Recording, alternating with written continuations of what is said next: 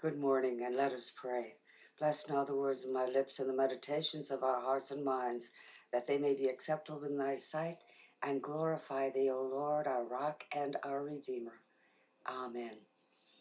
The reading I'm sharing today is for Sunday, the fifth Sunday after Pentecost, and it's from Job chapter 38, verses 1 through 11.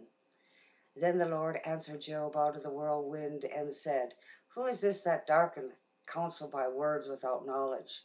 Gird up now thy loins like a man, for I will demand of thee, and answer thou me. Where wast thou when I laid the foundations of the earth? Declare if thou hast understanding.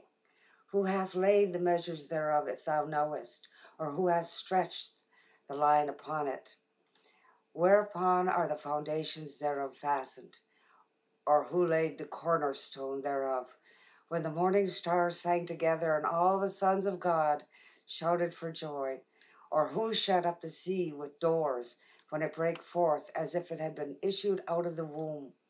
When I made the cloud the garment thereof, and thick darkness a swaddling band for it, and break up for it my decreed place, and set bars and doors, and said, Hitherto shalt thou come, but no further, and here shall thy proud waves be stayed. Here ends the reading. Where were we when the Lord did all these things? Were we there advising God? Were we even there to witness it? Of course not. We were not there. He is the creator and we are his creation. Who are we to question his motives? Who are we to consider that we might have more insight, more knowledge, more wisdom than God? Who are we to judge God? Who are we to be making decisions that clearly go against his will for humankind? The Lord is our God. He is the only true God, the creator of all of the heavens and earth. Listen to him. Let us pray. We give you thanks, Lord, for all that you have done, for all that you have done for your whole creation. It is a wonder to behold.